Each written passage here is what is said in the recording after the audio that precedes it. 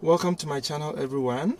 As you can see, this is the Android Auto Coolwalk working on my aftermarket Android head unit. This is in Volkswagen CC and I am not a beta tester so I'm going to show you how you're going to get this to work on your aftermarket radios particularly ones that are equipped with Android even if you are not a beta tester you don't need to be a beta tester to get this to work on your Android head unit you see that it's working perfectly. Tap here to bring the split screen. These apps are here app drawer kind of thing. It's all working perfectly. Um, that's notification so you see the number there showing the notifications and all.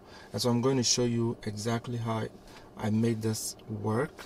And I'm going to use another car so that you know that it's not something specifically limited to this particular one. This an aftermarket Android head unit. It doesn't, it, although it has Android Auto. Typically, when you want to get Android Auto on this head unit, you go to Z-Link and then it would ask you to connect to your phone. So you plug in your phone, Android Auto works. And that's how Android Auto is going to work for you. You will not get the Coolwalk. So how do we get the whole Coolwalk interface that I showed you?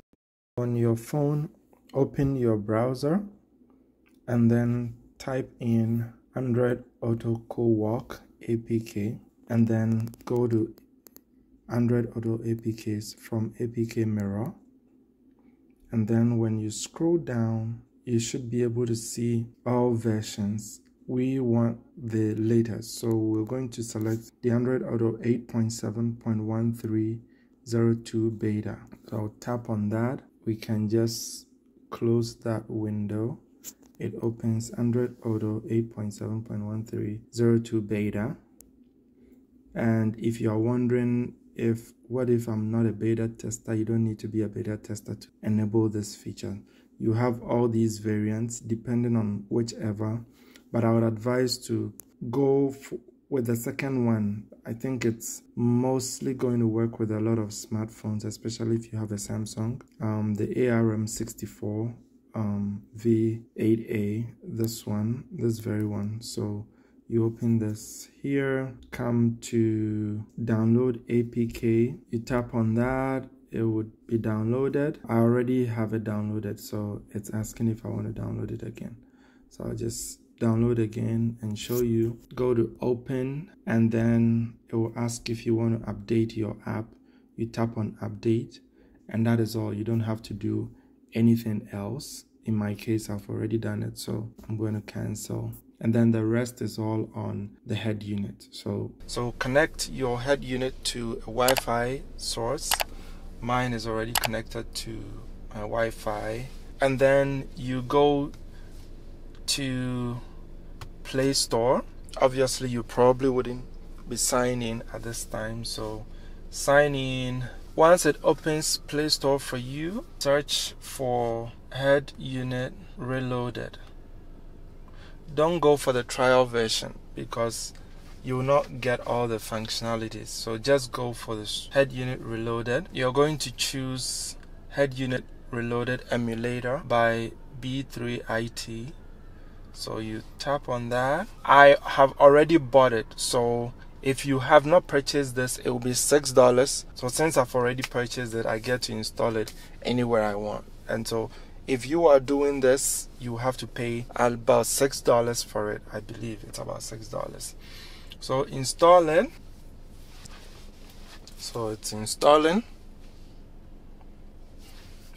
you have to give it a few minutes it's done installing so you open that at this time you can let's just go through and then grant all the permissions. So you see the resolution that's already selected. You can leave everything as it is. You don't need to change anything. Just start test and that's how it's going to look for you.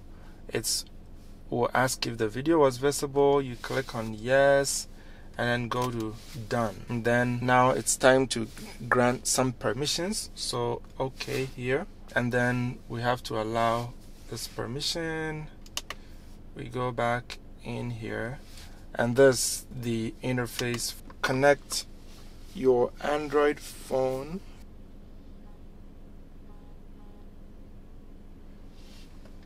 boom you have your Android Auto Coolwalk functioning on your um, head unit.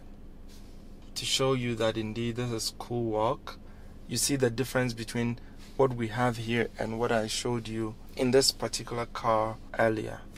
So you tap that to open the notifications are down there. Basically everything is working. However you can also play with the um, DPI and the resolution if you are not okay with this arrangement if you probably want it to be by the side here then you disconnect the phone open your head unit reloaded go to settings graphics choose resolution.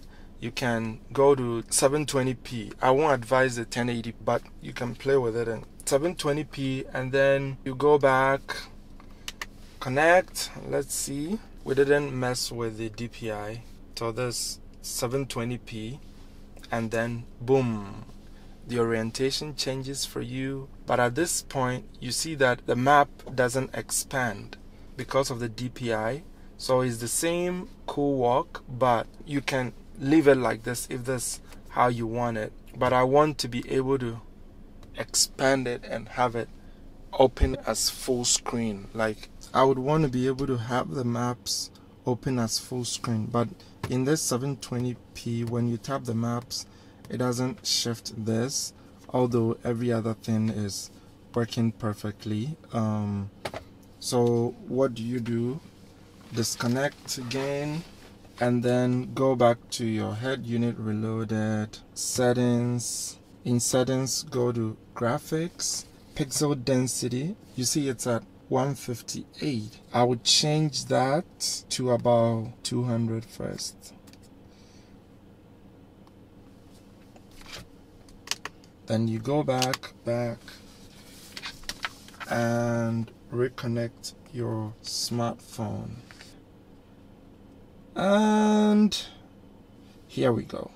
So at this point when you tap it would expand. It was just about the pixel density and you can see it's a bit clearer now. That's how to enable Android Auto Coolwalk. If you found any value in this video, give it a thumbs up and subscribe to this channel. That would be very much appreciated. So let me know if it works for you. It should be able to work irrespective of which system you are using. Once you are able to get the head unit reloaded and connect this it should be able to work fine for you. Thank you for watching and i'll see you in my next video